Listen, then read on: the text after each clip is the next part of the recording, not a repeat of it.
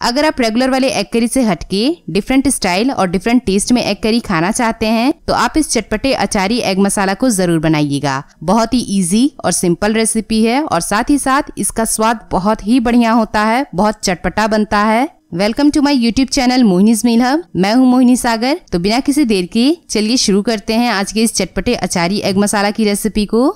अचारी egg मसाला बनाने के लिए यहाँ पर मैंने लिया है छह उबले हुए अंडे। अब बारी बारी करके हमें अंडे को नाइफ की मदद से प्रिक कर लेना है। और अंडे को मैं यहाँ पर नाइफ की मदद से प्रिक कर रही हूँ। आप चाहें तो अंडे को फोक की मदद से या फिर टूथपिक से भी प्रिक कर सकते हैं। और अंडे को मैंने यहाँ पे सिर्फ़ नाइफ की मदद से प्रिक किया है। आप चाहें तो अंडे में नाइफ की मदद से बड़े बड़े कट्स भी लगा सकते हैं। अंडे को यहाँ पे नाइफ से प्रिक करने का मकसद सिर्फ़ इतना है की जब हम अंडे को ऑयल में डाल के शेलो फ्राई करें तो अंडा स्प्लेटर ना करे। अब हम इन उबले हुए अंडों को मसालों से मैरिनेट कर लेंगे, ताकि जब हम अंडे को करी में डाल के पकाएँ तो अंडा खाते वक्त फीका ना लगे। तो सबसे पहले मैं इसमें डाल रही हूँ जरा सा नमक, या फिर नमक आप अपनी टेस्ट के अकॉर्डिंग डाल सकते हैं। दो पिंच हल्दी पाउडर और दो पिंच कश्मीरी लाल मिर्च पाउडर। अब बोल को हमें इस तरह से हाथ में लेके इसे एक से दो मिनट तक बिल्कुल अच्छे से मिलाना है, ताकि अंडे के ऊपर मसालों की अच्छी सी कोटिंग आ जाए।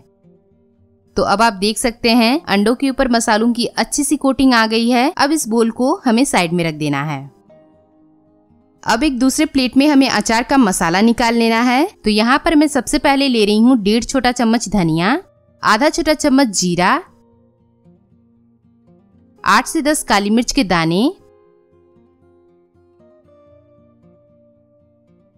आधा छोटा चम्मच सौंफ,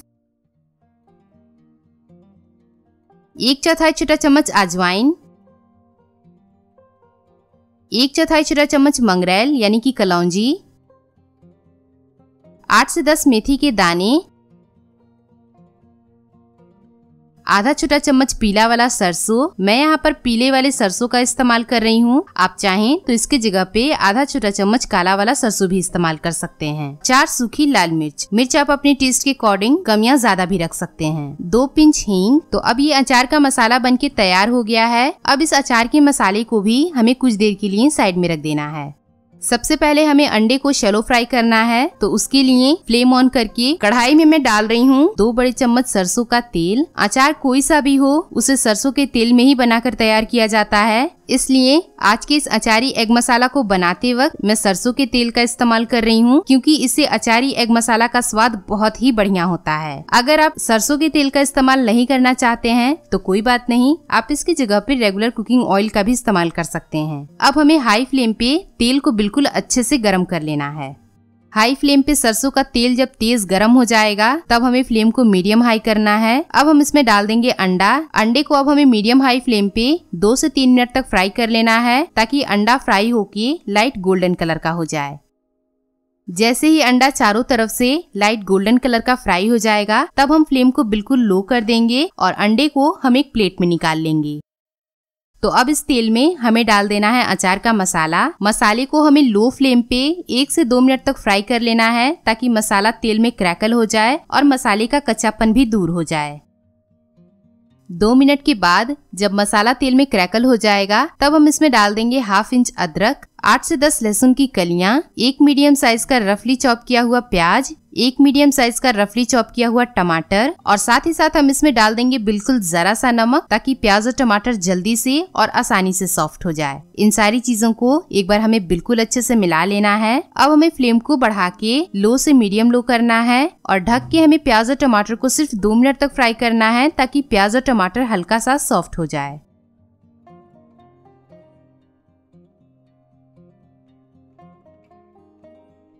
तो जब प्याज और टमाटर फ्राई होकर इस तरह से हल्का सॉफ्ट हो जाएगा, तब हम इसमें डाल देंगे एक चौथाई कप पानी। और पानी डाल के हमें इसे ढक के मीडियम लो फ्लेम पे दो मिनट तक और फ्राई करना है, ताकि प्याज, टमाटर और खड़े मसाले और ज़्यादा सॉफ्ट हो जाए।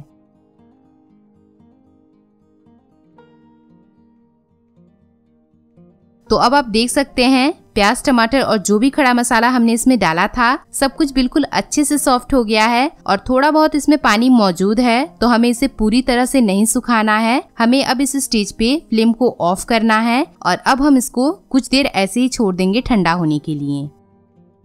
फ्राई किया हुआ प्याज और टमाटर जब बिल्कुल अच्छे से ठंडा होकर नॉर्मल रूम टेम्परेचर पर आ जाएगा, तब हम इस फ्राई किए हुए प्याज और टमाटर को बड़े वाले ब्लेंडिंग जार में डाल देंगे।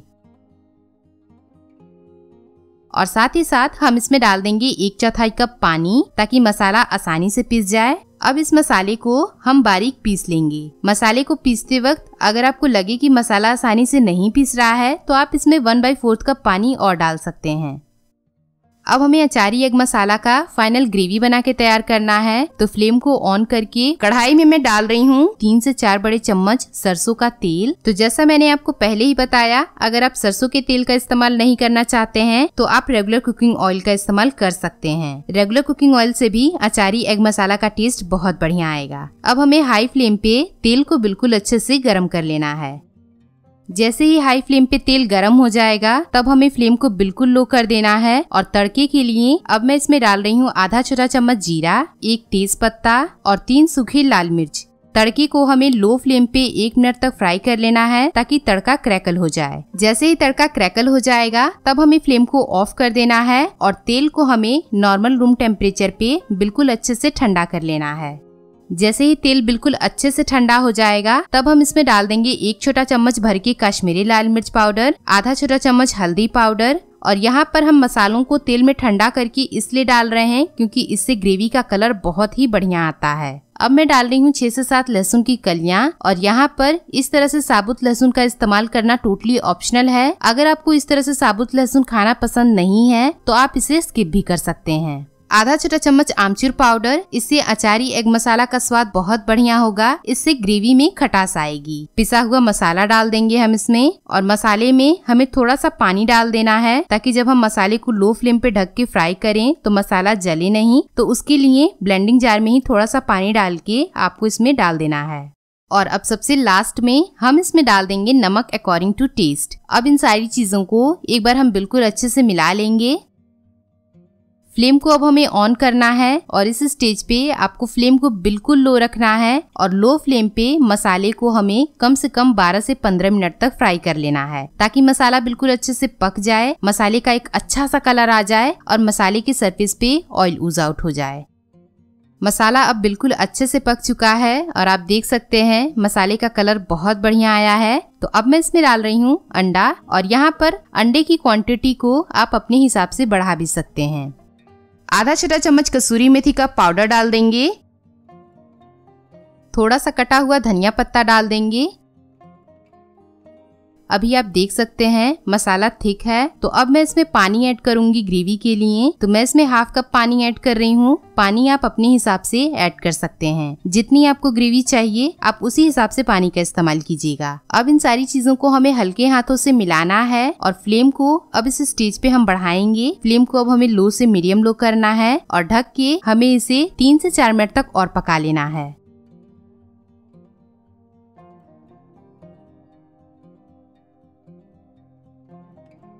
तो करीब चार मिनट के बाद आप देख सकते हैं, ग्रेवी में एक उबाल आ चुका है। तो अब हम फ्लेम को ऑफ़ करेंगे। अब आप इस गर्मा गर्म अचारी एग मसाला को सर्व करें गर्मा गर्म पूरी के साथ, पराठे के साथ, रोटी, चावल या फिर जीरा राइस के साथ। सभी चीज़ों के साथ इस अचारी एग मसाला का स्वाद बहुत ही बढ़िया लगता है। बहुत ही इजी और सिंपल रेसिपी है। आप घर पे बना के ट्राई ज़रूर कीजिएगा। उसके बाद आप मुझे कमेंट सेक्शन में ज़रूर बताइएगा कि आपको ये अचारी एग मसाला की रेसिपी कैसी लगी। अगर आपको आज का ये वीडियो पसंद आया है तो प्लीज़ मेरी आपसे रिक्वेस्ट है, आप इस वीडियो के नीचे दिए गए लाइक बटन को ज़रूर क्लिक कीजिएगा। चैनल पे नए आए हैं तो सब्सक्राइब ज़रूर कीजिएगा। Till then thanks for watching take care be happy मिलते हैं नेक्स्ट वीडियो में एक नई रेसिपी के साथ।